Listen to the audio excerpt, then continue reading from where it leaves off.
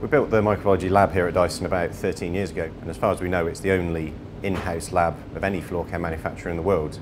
We wanted to really understand what was in house dust, but we couldn't find that expertise anywhere, so we decided to build our own lab. Well, this is typically what you'd recognise as house dust, but actually there's a much smaller fraction to dust, and that's primarily made up of human skin cells. People actually shed anywhere up to 28 grams of skin a week, as much as kind of a bag of crisps skin is actually the primary food source for house dust mites.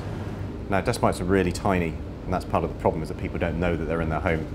Just in this one jar, there could be tens of millions of dust mites. And actually, you can have about a thousand of these dust mites in just a square metre of carpet, and a million in a single mattress. So each one of those dust mites is producing up to 30 faecal pellets a day. You can see the scale of the problem that there's a lot of these faecal pellets being produced, and that's what people breathe in, and that causes the allergic reaction.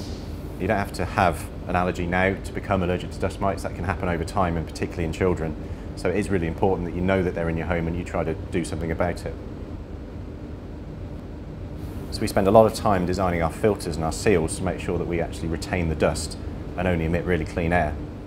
Unfortunately, some other manufacturers don't take that same care and attention, so you end up emitting the dust mite allergen back into the air that you're breathing.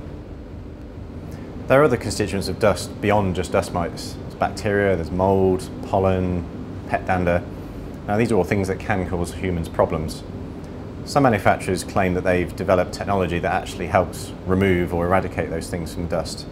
But we've been researching those exact same technologies over the last 10 years, so we actually know they don't work. For example, UVC light. Now this is ultraviolet light and it's a kind of radiation and it can, in the right circumstances, kill dust mites. Unfortunately, if you try that in a vacuum cleaner though, it's just a misapplication of that technology. It can't really work. You need to be moving very, very slowly and you need direct line of sight to the thing you're trying to kill. Ionizers are another example of a, a, misapplied technology. In a vacuum cleaner, there's just too much air movement and there's not enough ions being produced. And there's no real evidence to show that the ions actually do go out into the air and, and kill anything. All of our research has shown us that the best way to deal with bacteria, pollen and dust mite allergens is just to remove them from your home completely. And that's why we focus our efforts on designing vacuum cleaners that pick the dust up from the floor, have cyclones that are incredibly efficient to keep it in the machine, and then filters and seals that make sure it doesn't get emitted back out into your home.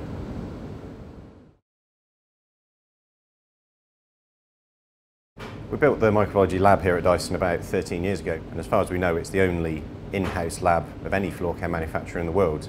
We wanted to really understand what was in house dust, but we couldn't find that expertise anywhere, so we decided to build our own lab